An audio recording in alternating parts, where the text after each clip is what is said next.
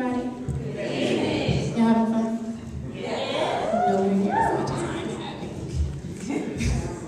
um, I guess I can introduce this song. I um, a lot of my tunes were picked forever ago. Baby It's Cold Outside. I actually told Josh, like my sophomore year, that I wanted to do with him, and he told me no. got replaced.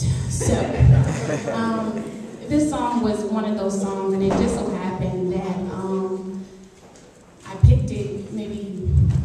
years ago, and then I came my senior year and found out that the Operatorio was doing Porgy and Bess.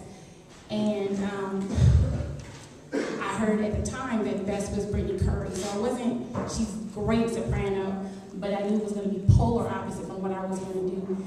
And then my feelings got crushed because I heard they changed it to Jackie, and I almost changed the song. So, um, and the theme that I wanted to go with my recital was kind of this musical unity theme that an A is an A no matter who's singing it, what genre is played in, and uh, it's just going to be, this is a good example of a song that crossed genres. It, it was originally an aria, and now it's my favorite jazz standard.